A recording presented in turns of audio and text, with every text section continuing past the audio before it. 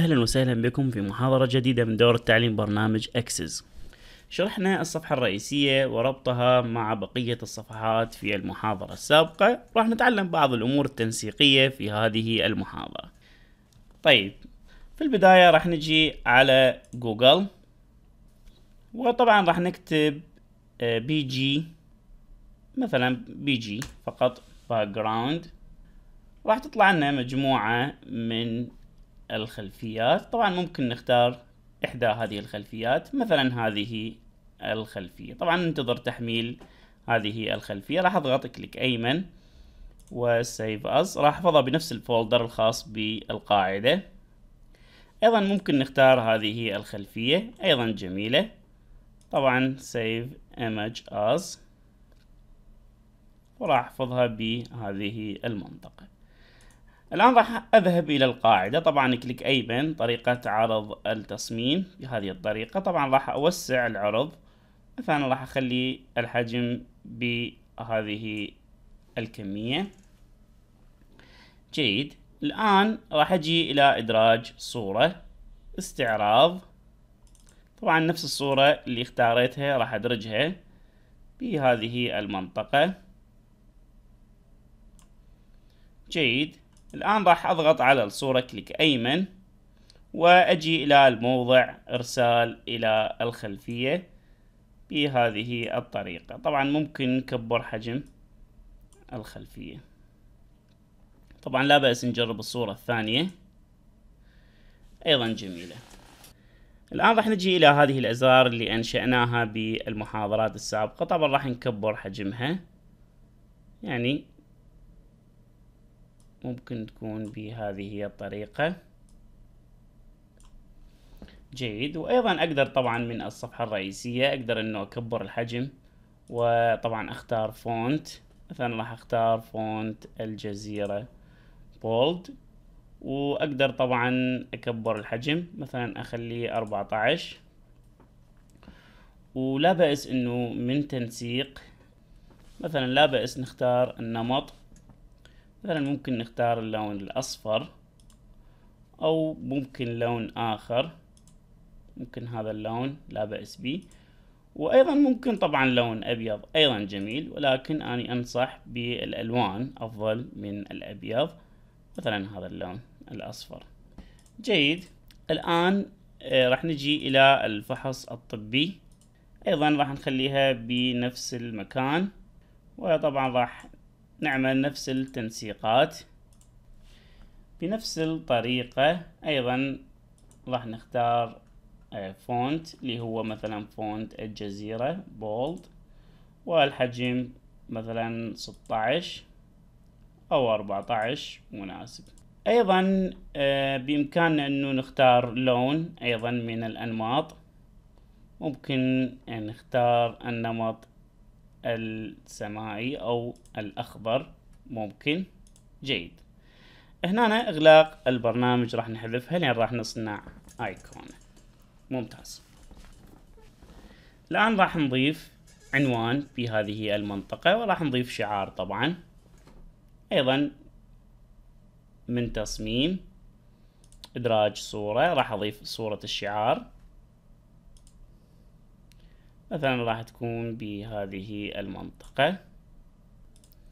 جيد. طبعا أيضا بإمكان إنه آه، أضيف نص. راح أضيف نص بهذه المنطقة.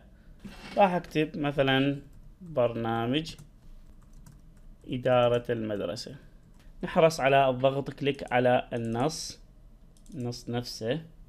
آه طبعا راح نكبر الحجم. ممكن نخليه مثلا أربعة وعشرين وراح نختار font اللي هو مثلا font الجزيرة. وطبعا راح نختار آه، لون النص أبيض. طبعا ممكن إنه يكون آه، اللون يعني أسود لا بأس.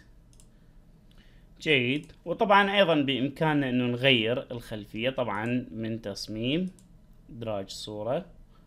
ممكن نختار آه هذه الصورة. أيضا جميلة. جيد. طبعا أكيد الشعار يحتاج أنه نغيره. طبعا راح ندرج شكل. طبعا من تصميم إدراج مستطيل. راح أضيف هذا الشكل المستطيل. وطبعا راح نطي لون من تنسيق لون التعبئة طبعا آه، ممكن أختار ألوان أخرى. يعني ممكن مثلا نختار شي لون غامق. مثلا ممكن هذا اللون أو هذا اللون. لا بأس. موافق. طبعا أيضا آه، اضغط كليك أيمن. ومن الموضع إرسال إلى الخلفية.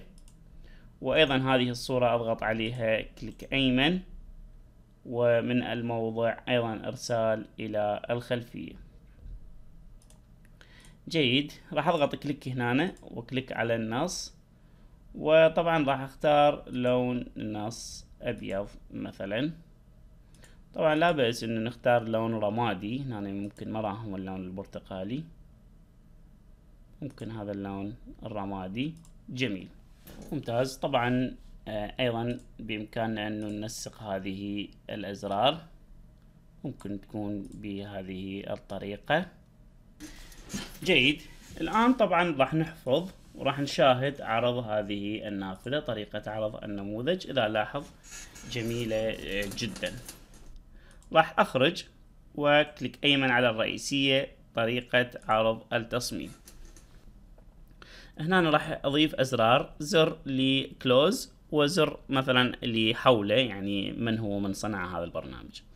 طبعا إذا أجي هنا إلى آه، جوجل طبعا نجي نبحث هنا نكتب كلوز ايكون مثلا. طبعا من أدوات نختار آه، اللون صور شفافة. طبعا راح أختار مثلا هذه الأيقونة وراح أحفظها. طبعا أضغط عليها click أيمن save image as. الآن راح أفتح Photoshop وطبعا من file new راح أفتح مساحة جديدة وراح تكون هذه المساحة خمسين بكسل في خمسين بكسل اثنين وسبعين resolution ومن ثم create. من file place راح أضيف الصورة وأضغط OK طبعا راح أحذف الخلفية وطبعا راح أحفظها من file save as وأنتبه هنا بالامتداد أختار BMP لابد إنه يكون BMP وراح أسميها مثلا close مثلا لا على التعيين. ضروري إنه الامتداد يكون BMP ومن ثم OK راح أجي هنا إلى اكسس وطبعا راح أضيف زر. هذا هو الزر راح يكون بهذه المنطقة. وطبعا راح أختار تطبيق إنهاء التطبيق التالي. وراح أختار صورة استعراض وراح أختار الصورة اللي استعرضتها ومن ثم إنهاء. جيد. ألاحظ إنه تم إدراج الصورة بنجاح. راح أضيف هذه الصورة. مثلا ممكن إنه أخليها بهذه المنطقة أو ممكن هنا بالاعلى بهذه المنطقة. جيد. طبعا هذه صورة اللي هي من خلالها أقدر أغلق. وأيضا راح أضيف ايقونة جديدة. مثلا أكتب help icon مثلا. أنزل إلى الأسفل. طبعا هذه الايقونة جميلة. طبعا أحفظها. Save as. وبنفس الطريقة راح أفتح آه عمل جديد أيضا خمسين بخمسين بكسل ومن file place راح أضيف هذه الايقونة طبعا راح أكبر من ال Alt وال roller الخاصة بالماوس. راح أكبر عرض الايقونة راح أخليها بهذه المنطقة وراح أحفظها من file save as. راح أسميها مثلا help. وأختار الامتداد bmp ضروري جدا. save save. أرجع إلى access راح أضيف صفحة جديدة طبعا من إنشاء form. راح أنشئ form فارغ. وأغير هذا ال form إلى طريقة عرض التصميم. أكبره مثلا بهذه المنطقة وراح أضيف هنا من تصميم عفوا راح أضيف نص وراح أكتب جميع الحقوق محفوظة لصالح منصة عالم بهاء الاحترافي. طبعا ممكن هنا أكبر الحجم. يعني ممكن من الصفحة الرئيسية نختار بولد ممكن نختار فونت وطبعا آه، ممكن نختار الحجم ممكن أربعة عشر يكون وتوسيط بهذه الطريقة. طبعا ممكن أضيف ال social media حتى يتصلون بي في حال لو كان أكو خطأ. مثلا من تصميم هنا. ممكن أضيف الأيقونات ممكن أضيف صورة لل social media. مثلا ممكن راح أكتب هنا فيسبوك عالم بهاء الاحترافي. أيضا بهذه الطريقة طبعا أيضا من تنسيق. بإمكاني أنه أختار مثلا أربعة عشر bold طبعا ممكن أستنسخ هذا الجزء control C control V وأكتب مثلا تليجرام أغير إنجليزي at BH word مثلا. مثلا لا على التعيين بهذه الطريقة. وراح أحفظ هذا النموذج راح أسميه help مثلا مثلا. أو مساعدة لا بأس إذا كان عربي مساعدة أيضا لا بأس. جيد. الآن راح أخرج إغلاق وراح أضيف زر جديد من تصميم وأيضا زر بهذه الطريقة. راح أرسم وأختار عمليات النماذج وراح أختار فتح نموذج التالي وراح يكون مساعدة التالي. راح أختار صورة لهذا الزر واللي هو راح يكون من نفس المكان اللي هو ال help ومن ثم انهاء طبعا أضغط هنا click وأرجع أضغط click. هذه الطريقة.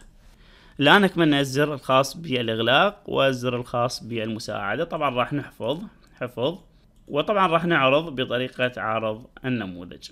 إذا لاحظ أنه هنا عندنا مساعدة راح يفتح لنا المساعدة. اللي هو هذا. طبعا ليش طلع لنا بهذه الطريقة ال form؟ لأن هذا ال form ما مسوي له منبثق. طبعا نضغط click أيمن طريقة عرض التصميم. ونختار غير ذلك منبثق نعم. وطبعا نحفظ حفظ وإغلاق الكل ممكن. نجي نفتح الرئيسية ونذهب إلى ال form الخاص بالمساعدة. وعندنا هنا الفورم الخاص بإغلاق البرنامج. الحمد لله قدرنا نصمم آه، البرنامج بطريقة جميلة وبسيطة في نفس الوقت. إن شاء الله راح ناخذ تمرين عملي متطور أكثر في المحاضرات القادمة. نلتقيكم في محاضرة قادمة بإذنه تعالى.